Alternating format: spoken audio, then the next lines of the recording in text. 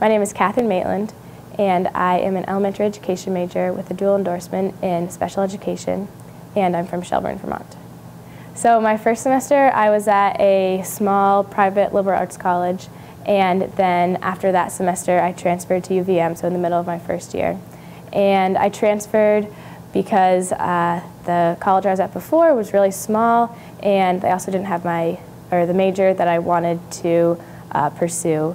And uh, I looked at UVM, and they had a really great education program uh, where I got to go into the field really early on as a sophomore, and many different opportunities uh, to be part of different student organizations and clubs. So I was really, uh, really like that.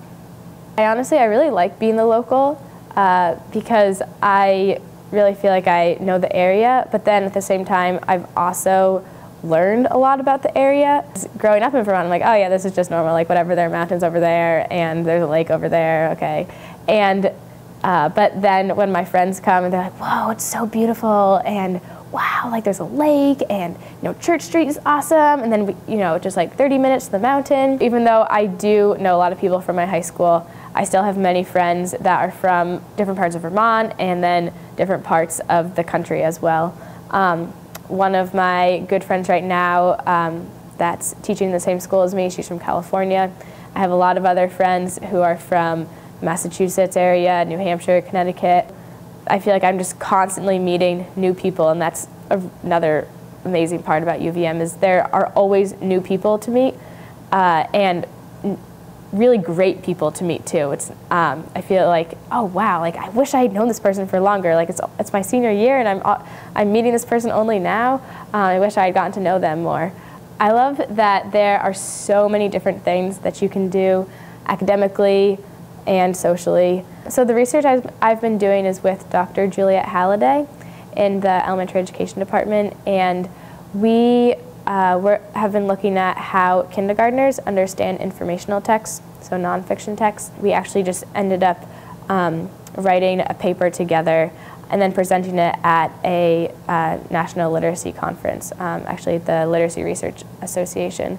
Um, so we went to a conference together um, in California uh, just a few months ago and presented this paper, and that was another just amazing experience being around all of these great literacy researchers from around the country. Another really big thing of how to make the most of your time is to study abroad one semester. You learn so much about yourself and about what you are really interested in and passionate about. So then that um, helped me decide that I wanted to uh, go to the Peace Corps after I graduated. Um, and then I've also been part of different service organizations at UVM that have also helped me um, make, make the decision to be part of the Peace Corps. I will be going to the Eastern Caribbean um, and I will be a uh, primary English literacy co-teacher when I'm there. So this might be a kind of small thing when you're thinking about applying to college, but it's a big thing when you actually get onto campus. But the food at UVM, I feel like for a college campus, is really great. They do a really nice job of uh, having uh, local food, which is something that the students have definitely pushed. Um, and it's, you can really tell in the food that's cooked, it's high quality. And uh, I'm kind of sad now that I'm not on a meal plan because I can't just easily go and um, get a falafel on Thursdays um, or get some great wraps um, from, the, from the marketplace. When I um, first started going to UVM, I was a little concerned because uh, I'm from Shelburne, uh, and so my high school was actually farther away from my house than UVM was. But I found when I got on campus, it was just a whole different world.